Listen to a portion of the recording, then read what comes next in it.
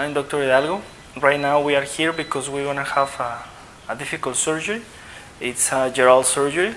He's a big guy, more than 400 pounds, and basically he have a previously surgery. He have a lap band surgery 17 years ago.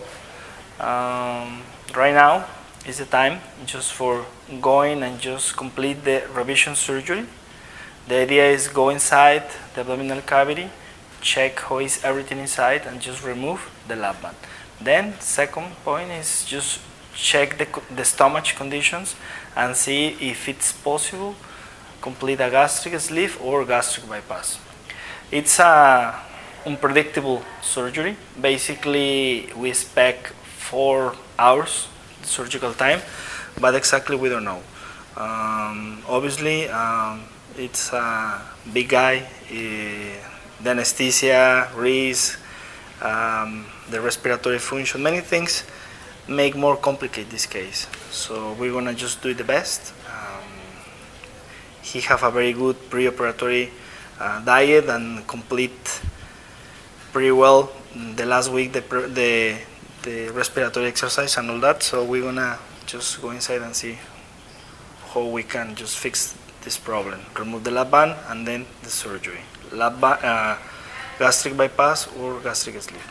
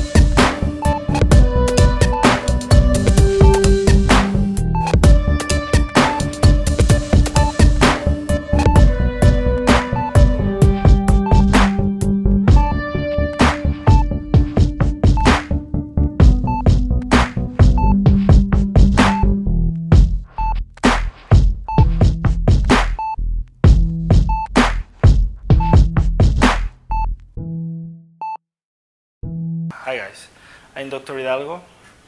I just finished the Gerald surgery. Was uh, nine hours surgery, a very long surgery. Everything was fine. Uh, he's in good conditions. Just was a very difficult, very difficult uh, surgery because he have a lot scar tissue. Do you know the scar tissue is basically uh, new tissue, okay? And this new tissue was covering all the lap band, okay? Was covering the liver, the stomach, all the the areas, the places which one we working usually was covered by scar tissue. Okay. Anyway, at, at the end we removed all the, the scar tissue.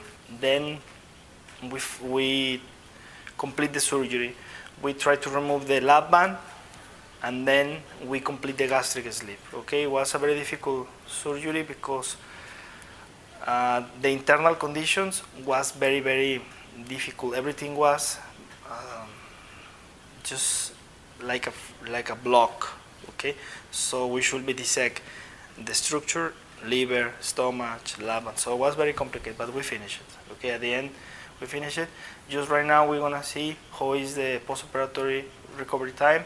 Uh, technically, in this kind of surgeries have to be like any surgery, have to be fine, okay? Because this is one of the good things with this kind of surgery and the laparoscopic. The, the recovery have to be like another's. So anyway, we're gonna keep it informated about the, the, the follow-up in the next days, okay? Hi, I'm Dr. Kurt. I'm a surgeon and the first assistant at weight loss team. We are just coming out from Gerald's surgery. It was more complicated than we expected. He had a lot of scar tissue from his previous procedure. Fortunately, the surgery was a success and we are just waiting for his recovery. Hi, I'm Dr. Daniela Martinez. I'm specialized in bariatric anesthesia for weight loss team. With Gerald's surgery, we had a few challenges for any anesthesiologist. The first challenge we had was Gerald's airway was very compromised. It was very hard to intubate it, even using the most modern state-of-the-art medical equipment. Once intubated, everything was so smooth for his surgery, regards with anesthesia. The second challenge was the length of the surgery. The surgery lasted eight hours, and Gerald woke up one hour after it ended up. After the surgery, I ordered to administer pain and nausea medication as also oxygen, and special care handling needed for ensure no complications. At this point, my goal is to keep Gerald as comfortable as possible to reach a good recovery.